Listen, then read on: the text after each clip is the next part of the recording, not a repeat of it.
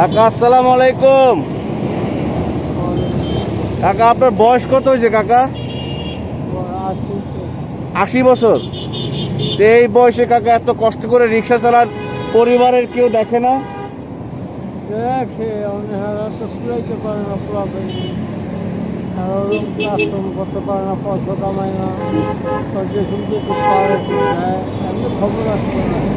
আপনার ছেলে মেয়ে কয়জন কাকা? দুই ছেলে এক মেয়ে। মেয়েরা কি করে? এই একজন এক মহাজনের বাড়ি তা আপনি এখন এই রিক্সা চালায় কোথায় যাচ্ছেন? আপনি রিক্সা চালায় কাকা কোথায় যাচ্ছেন এখন? হ্যাঁ। এখন রিক্সা চালায় যাচ্ছেন কোথায়?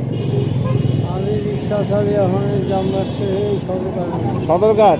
আপনি থাকেন কোথায় কাকা? কেরানীগঞ্জে। থাকেন। এইখানে কখন আসছেন? হ্যাঁ। এইখানে আসছেন কখন? এখন এত কষ্ট করে গাড়ি চালাতে পারেন? আপনি তো নিজেই হাঁটতে পারেন না কাকা তাই এটা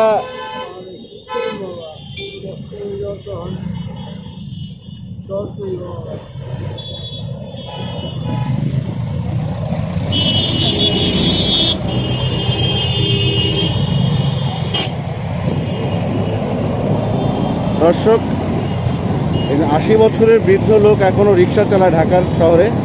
তাকে দেখার মতো কেউ নাই। আমরা যতটুকু পারি তাকে সহায়তা করব। তার তার ছেলে মেয়ে। এখনও উনি রিক্সা চালান এখন কেরানীগঞ্জে যাবেন উনি কেরানীগঞ্জে থাকেন দর্শক।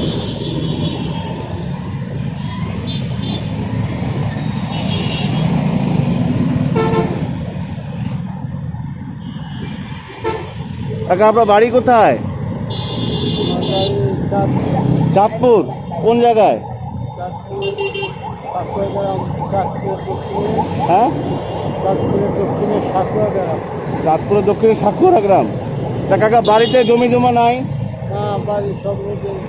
নদীতে নিয়ে গেছে?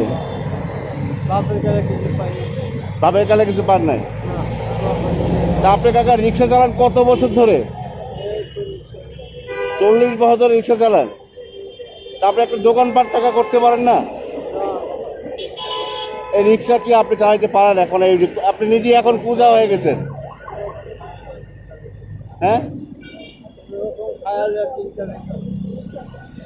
কয় বেলা রিক্সা চালান? দুই বেলা? সারাদিন রিক্সা চালান। খান কোথায়? খাওয়া দাওয়া করেন কোথায়? খাওয়া দাওয়া, মাংস খাওয়া রাস্তা রাস্তা খাওয়া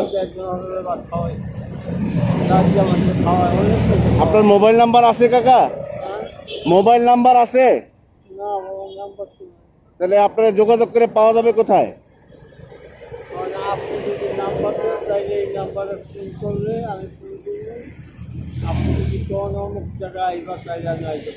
আপনি থাকেন কোথায়? কেরানীগঞ্জে? না আপনার নাম্বার নাম্বার নাই? না নাম্বার নেই। তাহলে পাবো কেমনি? আপনারা আমার নাম্বার তো মনে করেন আপনি আইতে পারবেন না। আপনি নাম্বার দিলে আমি ফোন করব আপনি যে অমুক জায়গায় আপনি আহেন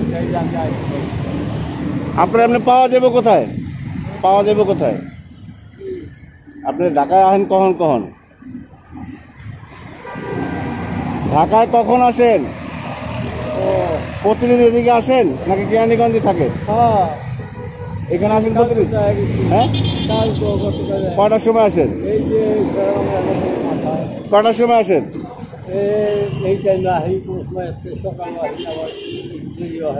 আচ্ছা কেরানীগঞ্জ কোন জায়গায় থাকেন? কালীগঞ্জ। কালীগঞ্জ কোন জায়গায়? কালীগঞ্জ? নদীর ওই পার থাকেন?